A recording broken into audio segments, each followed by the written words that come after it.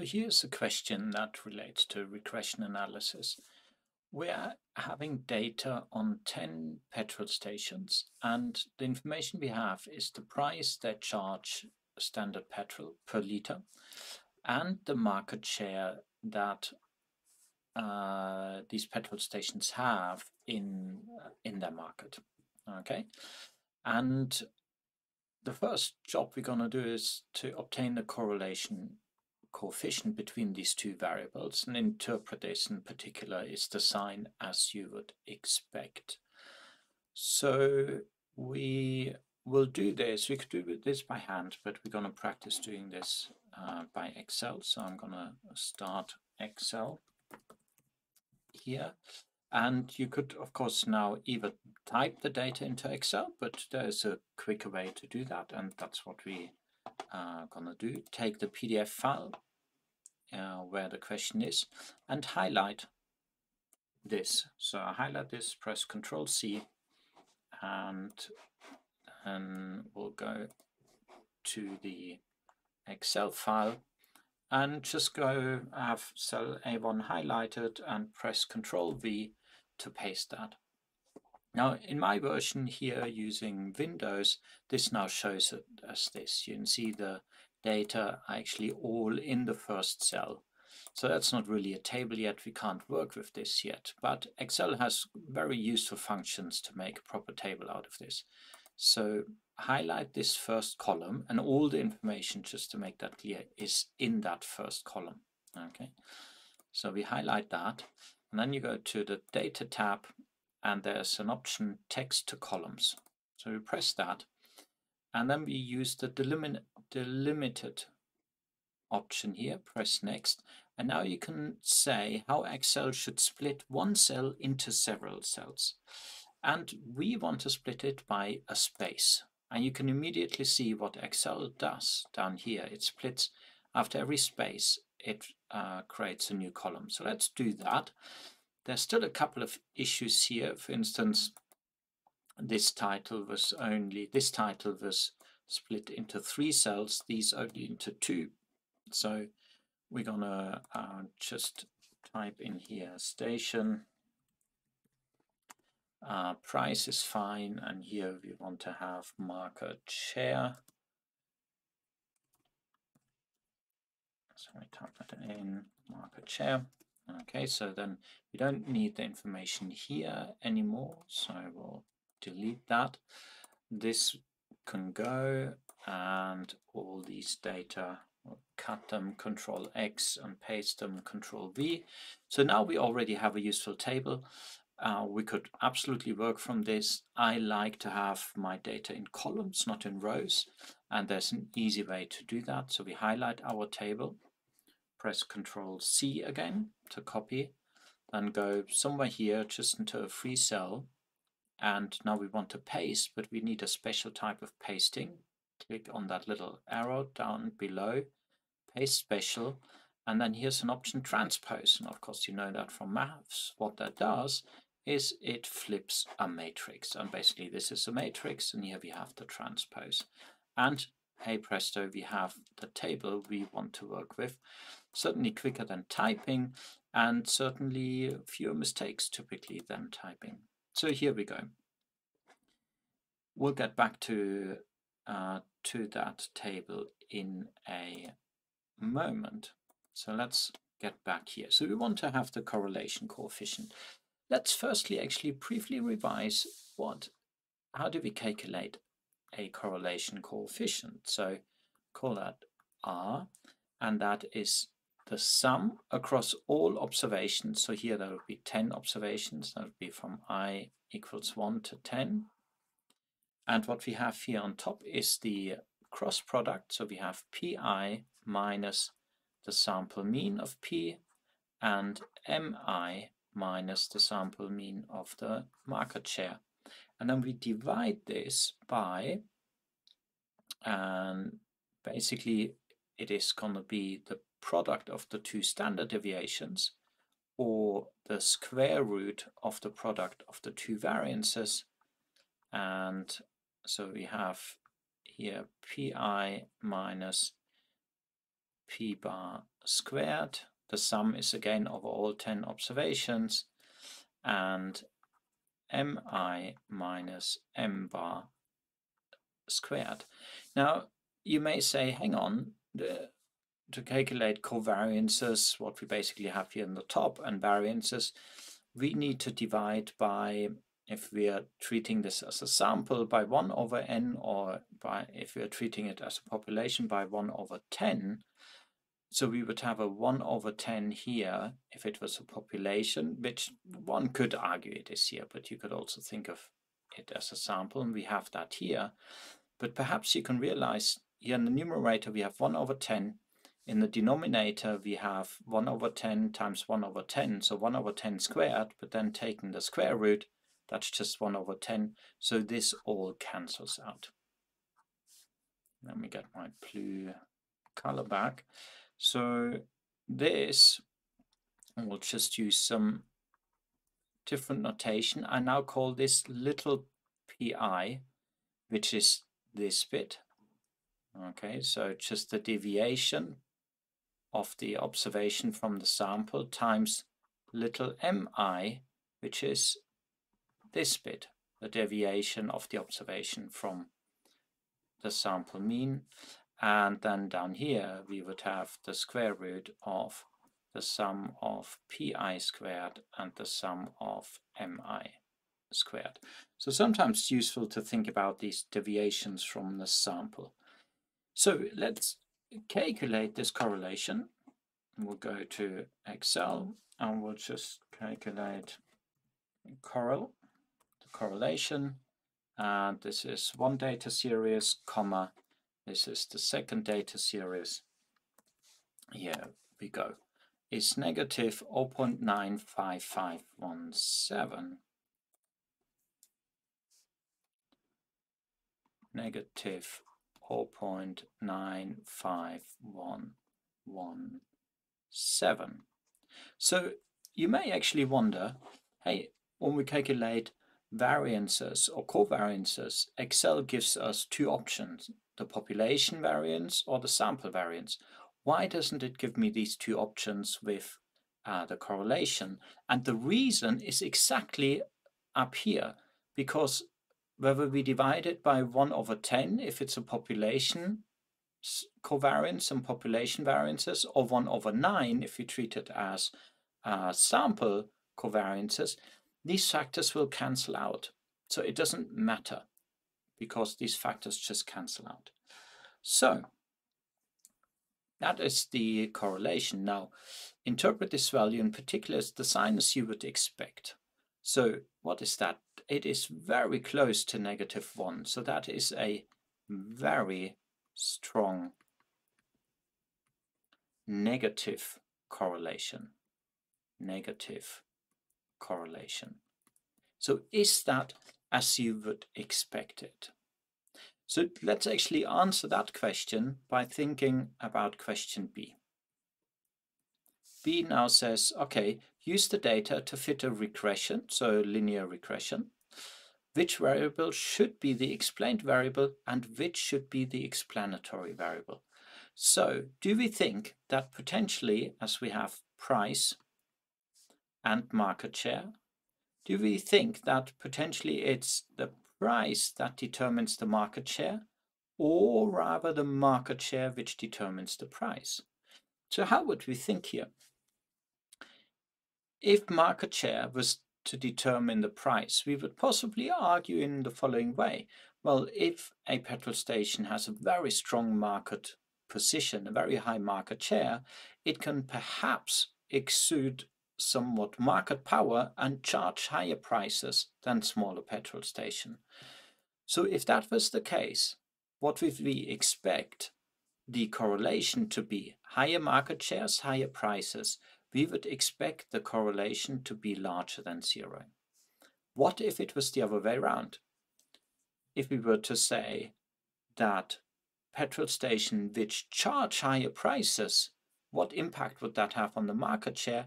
Well, potentially high prices. Do customers like that? No. So perhaps they would have smaller market shares. In that case, we would expect the correlation to be smaller than zero. So it turns out our correlation in our sample is indeed smaller than zero. In fact, it's very, very strongly uh, negative. So we are possibly thinking that this here may not be the predominant effect. So if we want to estimate a regression, which variable would we have on the left-hand side? Which variable is x? Which variable is the explanatory variable? And which variable is y, the explained? Well, we would think of p as the x variable and m as the y variable. So we would want to estimate a regression m is equal to alpha plus beta times um, p, always remembering that there will be an error term. Okay, so this is possibly the regression we want to estimate. So part C is then estimate the regression you propose above. Does the value of b have the sign you expect? Well, we would expect that beta, or once we estimate it, we get m hat is equal to a plus b p, so then no error term. So we'd expect that b to be smaller than zero. So let's do this. Let's go uh, over here. So two ways, let me just do that. If uh, you for, for now have trouble with the data analysis pack, we can calculate the sample estimate. Uh, let me do it here somewhere. So we want to estimate the A and the B. The A is going to be the uh, covariance between P and M divided by the variance of P. And the A is going to be the um, average of M minus the BV estimate times the average of P. Okay, so what we need, oh, that's was not meant to be a formula. So what we need is the averages, for instance. So let's calculate that. Average. And we just copy that. We need, let's say, the variances and the covariance. The covariance. So let's calculate the variance. Now here we now have the choice between sample and population. Turns out for the regression, as for the correlation, it doesn't matter as long as you're consistent. So we could calculate the population variance and that is the variance of that and then we copy that formula across. That's the variance of the market share and now the covariance. So since we calculated the population variance, we need to calculate the population covariance.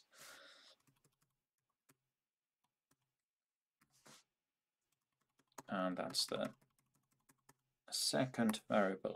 Okay, because if you're consistent, then the same happens as here with our red factors. They will just cancel out even for the B for the regression coefficient. So now we can calculate the uh, um, slope coefficient. So we need covariance divided by the variance of p. So that one here divided by the variance of p, which is this one. And remember, the formula was here. And this one here is going to be the average of the market share, which is this one, minus b times the variance of p. Here we go. So that's our intercept. So now you can do exactly the same using the data analysis pack and the regression function. So regression, our dependent variable is the market share our explanatory variable is the price and we want the output uh, let's say here. And we press OK and here we go. And now what we should see with any luck and well not luck we knew that should happen. Of course, the estimated slope is exactly the same which we calculated so by hand, and the estimated curve uh, intercept is also the same. Okay, so we've we've done it right. Now, one more thing I want to do is I want to print a um, scatter plot. Okay, so here we have the market share on the vertical axis and the explanatory variable price on this axis. Let me just uh, add price here.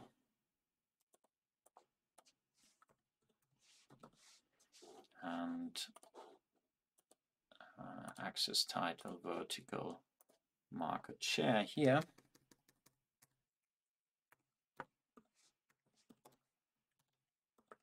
Market share. Okay, so I'm gonna bring this little graph over to my uh, OneNote pad. Here we go. Yes, our little plot. So this plot will now be useful when we think about the next few questions.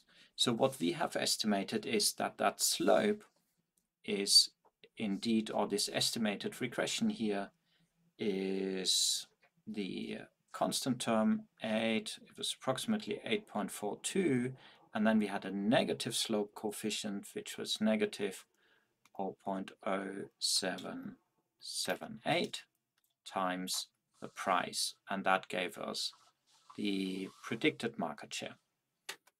So this is a line which will be somewhere, let me just approximately sketch that in here, okay, somewhere located like this.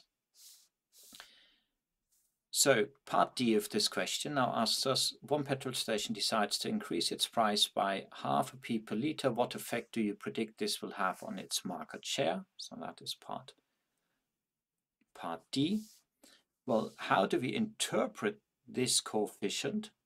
We would usually interpret this that if P increases by one unit, which in this case is one pence, okay, by one P, then we should expect M to decrease by 0.0778.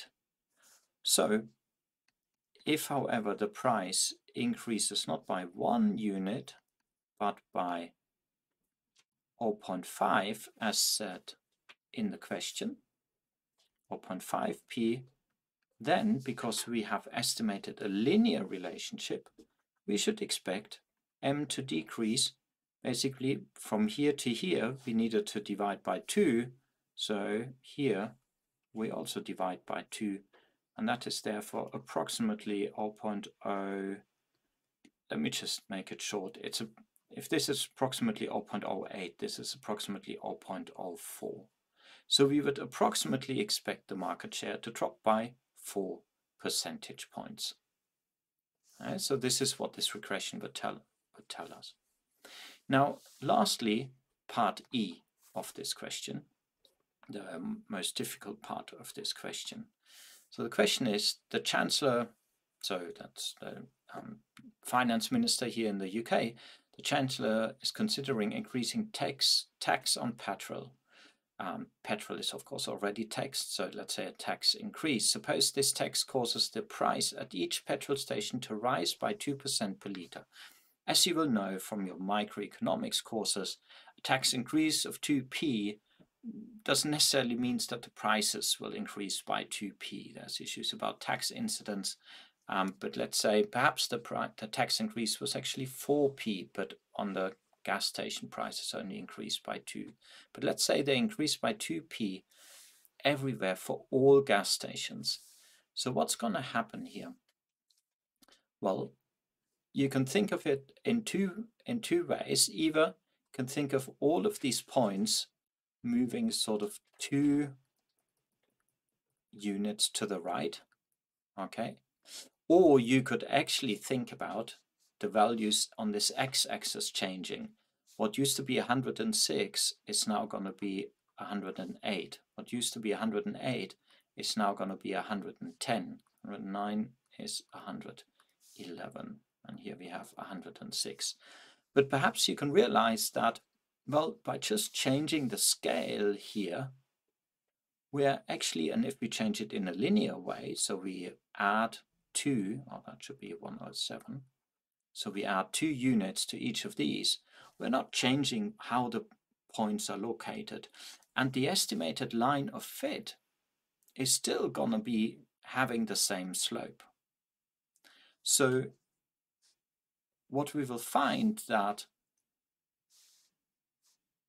if we were to estimate a regression with these new prices and as the question says the market shares stay the same so the points aren't moving in this direction up or down they're basically only all moving two units to the right or the axis two units to the left however you see it we will find out that that new regression m bar will have exactly the same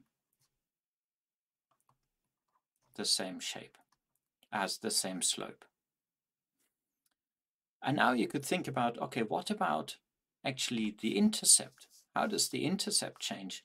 Well, remember that the intercept A is going to be m bar minus the slope, so that's minus this one, minus 0.0778, and that slope will be unchanged, times the average price. Now, the average price, that will have increased by 2p. The market share will be the same. The average price will have increased by 2p given the information here. So what we'll get is m bar minus minus 0.0778 times, so let me just call that actually that average an asterisk because it's the one after the tax. Okay, so what we will have here is that one is going to be the old average plus 2. And then you can perhaps see, and let me just continue the algebra up, up here. If we just do the algebra, we can see what will happen to the intercept, because we will have m bar minus, and then we have minus 0.0778 times p bar, so we are taking this times this, but then we are also having that factor times the plus 2. So we are getting a plus here. So I should take this away. So plus, but then minus 0.007, so we're having minus 0.0778 times 2. And now you can see what we have here. These are now all additions, so I can actually add this parenthesis and this parenthesis here. Okay, and then